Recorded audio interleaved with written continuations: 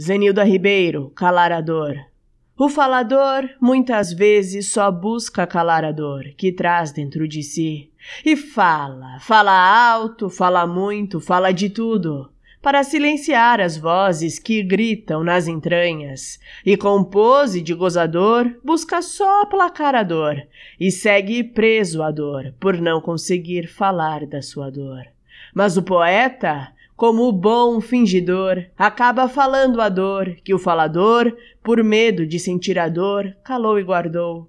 Mas no poema chorou, porque o poema gritou a dor que ele silenciou.